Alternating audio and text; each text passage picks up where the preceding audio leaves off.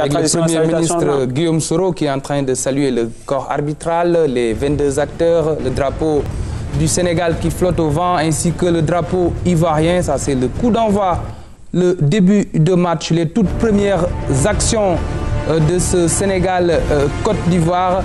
Et là, c'est la palette que nous propose Khadim Diop, cher coach. Vous voyez cette, cette action-là, là, il y avait deux possibilités. Il y a eu le centre et le renvoi de la défense ivoirienne. On va commenter ensemble euh, ces, ces, images. Vous pouvez aller quand vous voulez. Là, c'est Drogba, l'amorti de la poitrine et la passe euh, dans l'intervalle pour euh, Salomon Kalou. Est-ce qu'il y avait penalty réellement? Il y avait simulation. il y, avait, simulation. L'arbitre avait vu juste. Et là, c'est la toute première banderie plantée par les Ivoiriens. Et la Cheikhou Kouyaté, intervention énergique. Et là, c'est une faute sur là, Sadio Mané. Là, manifestement, il y a une faute. Il y a eu pénalty selon vous? Manifestement, que l'arbitre n'a pas. Trois, trois possibilités. Il a préféré centrer au second poteau. Il y a une superbe sortie de Copa Barry. Là, c'est un joli contrôle de Sadio Mané qui va essayer de provoquer, comme il sait bien le faire là, le décalage. Balle aérienne et les Sénégalais ont essayé de jouer euh, euh, là- là- là- là- là-dessus. et là, je pense que c'est euh, une remise. La frappe, un but venu d'ailleurs, un but splendide de Damdoy.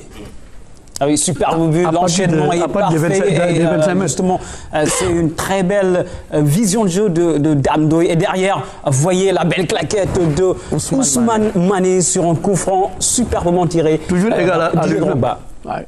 Et là, sur le corner, vous voyez euh, comment la Et à partir du moment où je dis il joue sur la ligne de fond, il prend la défense à revers et là on a manqué de surveiller les gens. Et là, il y a eu six, six jours sénégalais dans la surface de réparation. Et toutes premières actions de cette seconde euh, période, le coup franc de Damdoy, la défense ivoirienne qui se euh, dégage. Et là, c'est un corner de Kader Keita, le renvoi de la défense sénégalaise.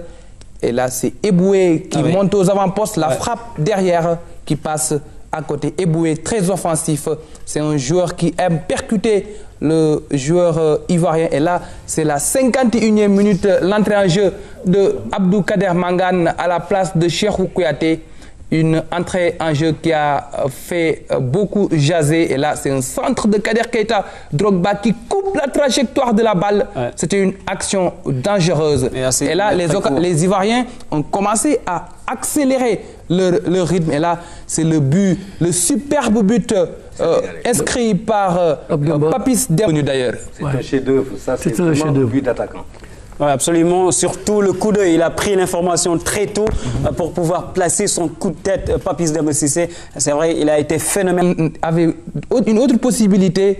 Et là, c'est le second but ivoirien, légalisation. Le resserrement de ligne. Ah oui, là c'était euh, c'était donc un but qui a permis aux, aux Ivoiriens de revenir dans la euh, partie. Absolument. Et c'était juste après l'entrée en jeu de Kader Mangan. Et voyez le euh, troisième but. Mais il y avait position euh, de hors-jeu euh, sur cette action du but euh, de Gervinho. But refusé justement. Et voici le penalty sur l'action de jeu. Euh, Doudou. D'autre part, personne des deux joueurs n'avait le ballon. Ouais. Donc c'était une passe, le ballon n'appartenait à personne et que pratiquement Fatih était de dos. Mais bon, ça c'est les images de la télé, on n'était Et pas le- Drogba n'a pas tremblé, il a mis le ballon au fond des filets. Là, c'est le troisième but.